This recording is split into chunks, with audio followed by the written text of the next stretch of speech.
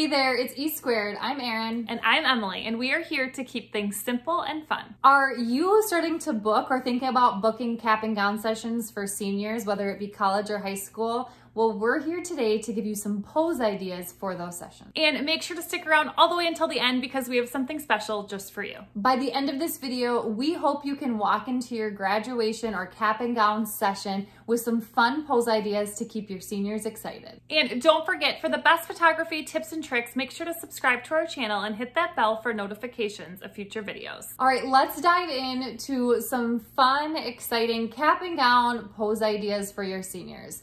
So obviously our first one and everyone's requested one, they always ask if they can do it, is a uh, cap toss. And so we can either have them toss the cap up, looking up at it, or they also like doing this one where they toss it towards us like a frisbee. Sometimes you have to do those a few times and snap really quickly. One of our favorite poses is just having them walk. And when you have them walk, as you can see here, we always, always, always have them unzip their gown. Rarely do we do any pictures of them with their gown fully zipped up.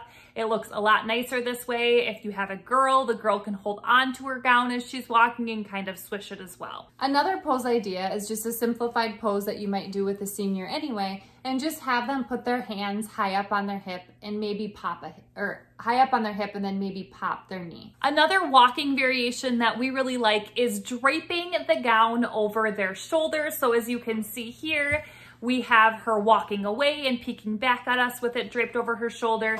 And then we have the other girl here walking towards us with it draped over her shoulder as well. Just take a second and comment below. Do you have a pose tip or trick that you use at almost every senior session? Let us know. Another great thing to do, depending on if they have the um, props to do this, is if they have cords, they can grab onto their cords and kind of sway them around or play with them. Or as you can see on the right, she's just playing with her tassel. Another fun one that you can do with senior girls is have them kick up a leg.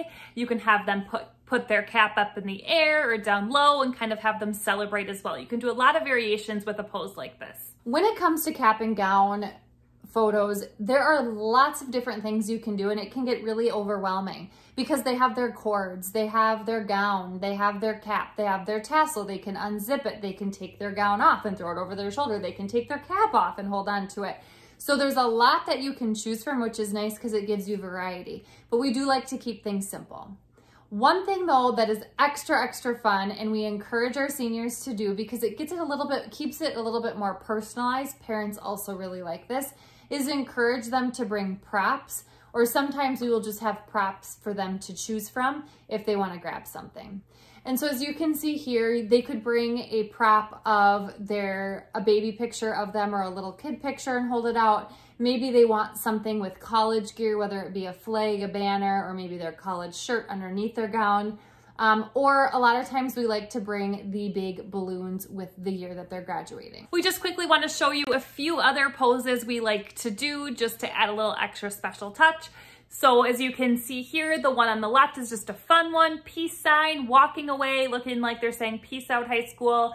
Another one is just focusing on the cap as they're walking or holding it, whatever that might be. And then on the white, on the right, she is just celebrating there. A few more interesting or fun ones that you can kind of have in your back pocket as ideas is splitting their face in half and really take, getting a close up more of the cap and tassel or in the middle, just a different view, a blurred view where you focus on the tassel or the year that's hanging from the tassel and they're blurred in the background or just a simple one of them walking away with all of their stuff. Now, when it comes to our cap and gown mini sessions that we offer, we encourage them to bring their family or their friends to hop in the pictures as well. So usually we'll start out by doing some individual shots of the senior.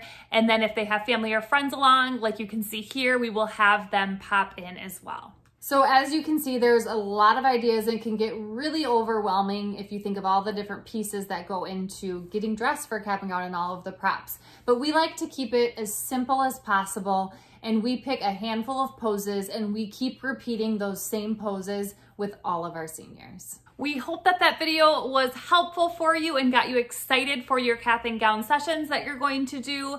And if you are interested in senior photography, which we're assuming you are because you're looking at this video, we have a free senior posing guide for girls and guys in the description below. So make sure to check that out. And if you enjoyed this video, make sure to like, subscribe, and share with a friend so we know to make more videos just like this one. If you don't already, follow us on Instagram at esquared.photography for more tips and tricks as well and see some behind the scenes of us at sessions.